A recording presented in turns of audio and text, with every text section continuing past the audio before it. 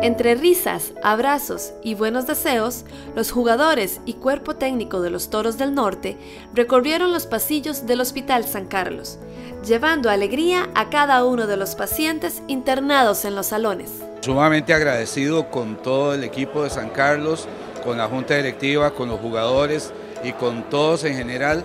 Yo le aseguro que muchos de los pacientes que ahorita tenemos internados hoy, en este momento que acaba de terminar la visita que le hicieron a los salones, se sienten muchísimo mejor. Muy importante para, bueno, para todos nosotros el hecho de, de conocer otra realidad, de saber que hay personas que, que de verdad están sufriendo o que de verdad tienen algún problema eh, que los aqueja en su vida. Esto nos motiva a, dar lo mejor de nosotros por las personas que están aquí.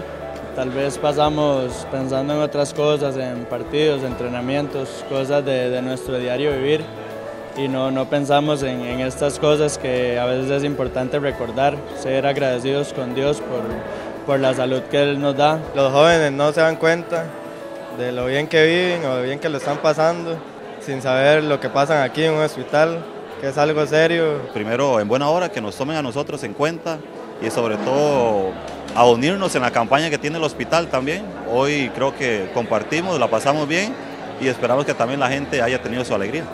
El programa San Carlos Más que Fútbol se caracteriza por promover acciones sociales que beneficien a las áreas más vulnerables del cantón.